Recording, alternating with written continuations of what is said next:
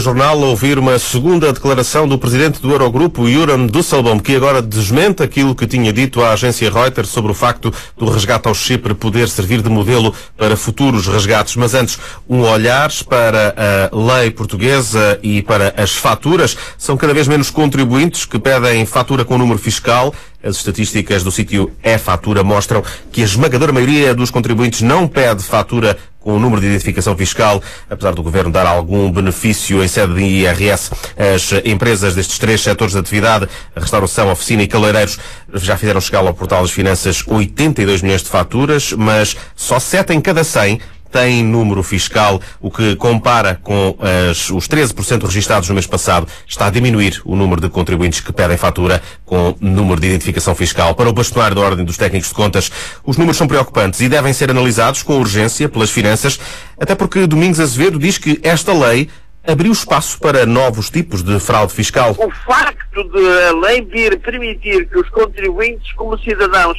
peçam esse tipo de faturas, pode ser uma forma de ele sonegar às suas atividades valores que, neste caso, são gastos, mas que, pelo facto de existirem, têm que gerar receitas.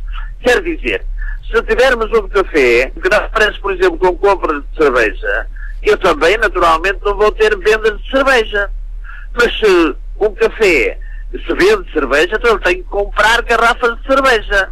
Ora, poderemos estar, quando bocadinho dizia, estar perante atos de sonegação, é isto que eu quero dizer, a confundibilidade entre a qualidade de cidadão e a qualidade de sujeito passivo. E a verdade é que a nova lei possibilita que se crie essa confusão. Tem que haver aqui uma análise muito séria por parte da autoridade tributária para avaliar a estrutura e, e, a, e a qualificação das variações que existido na emissão das faturas. A denúncia feita pelo bastonário da Ordem dos Técnicos de Contas de que esta lei das faturas eletrónicas abre a porta a novos modelos de fraude fiscal. Domingos Azevedo pede também à autoridade tributária para analisar com urgência os números preocupantes que mostram que são cada vez menos os contribuintes que vêm pedindo fatura com o número de identificação fiscal.